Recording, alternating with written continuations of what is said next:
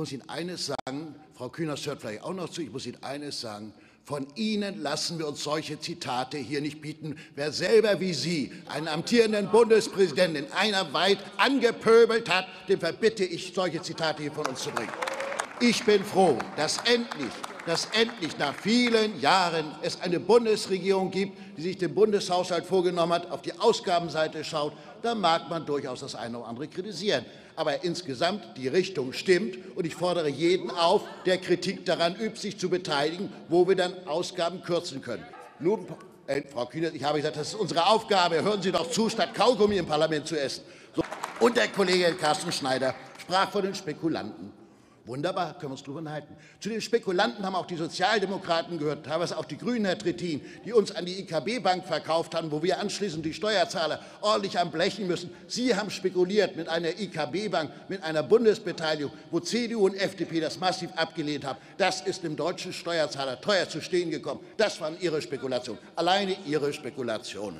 Für uns ist wichtig, und das ist doch das Entscheidende, Sie wollen nur Arbeitslosigkeit verwalten.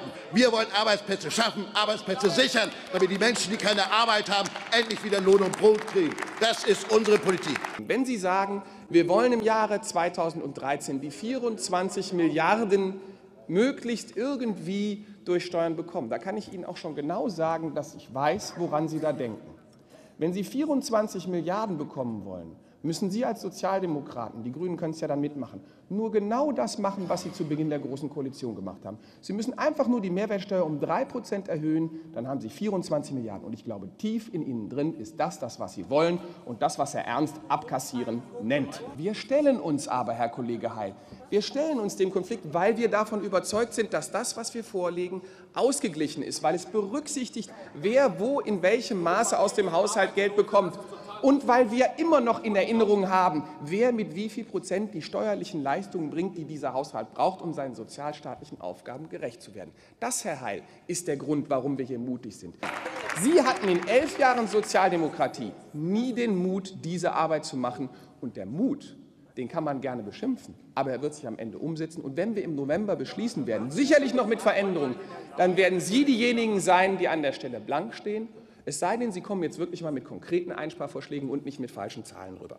Ja, ich weiß, Sie wollen das immer nur über Einnahmen machen. Und ich kann jedem Bürger nur draußen sagen, jeder Politiker, der Ihnen sagt, er will mehr Einnahmen, will am Ende an alle Leute ran, will immer jede Einnahme verbessern. Und wenn Sie dann meinen, man könnte Einzelne ausnehmen und könnte sagen, ich nehme jetzt mal nur eine kleine Gruppe, dann bin ich mal gespannt, wie Sie mit dem Vorschlag Ihrer Reichensteuer 11 Milliarden in diesem Jahr erwirtschaften wollen oder 24 Milliarden nächsten. Das können Sie gar nicht, aber bitte, ich bin, freue mich sehr, wenn Sie diese Rechnung aufmachen. Woran kann man eigentlich merken, wie sozial eine Bundesregierung ist? Das kann man letztlich am einfachsten nicht an absoluten Zahlen, sondern man kann es einfach daran, dass man prüft, wie viel Prozent der Ausgaben des Haushaltes der Kollege Bartler hat es gesagt. Wie viel, Prozent, wie viel Prozent der Ausgaben des Haushaltes gehen an Arbeit und Soziales? Und dann wollen wir mal feststellen, bei Rot-Grün am Ende 2002, die ja angeblich so sozial sind, waren es 44, das sind Zahlen des Rechnungshofes, waren es 44,9 Prozent. Der Haushalt 2010 der christlich-liberalen Regierung sagt 54 Prozent, 10 Prozent mehr. Wer da behauptet, Wer da behauptet, er sei sozial, der, Frau Kollegin Hagedorn, Zwischenfrage ist nicht, wer da behauptet, er sei sozial, verweigert sich erneut der Macht der Zahlen. Das Unsozialste, was wir machen können, ist die Verschiebung von Schuldenbergen, auf denen Kindern, wie wir alle wissen, weder spielen noch lernen können. Herzlichen Dank.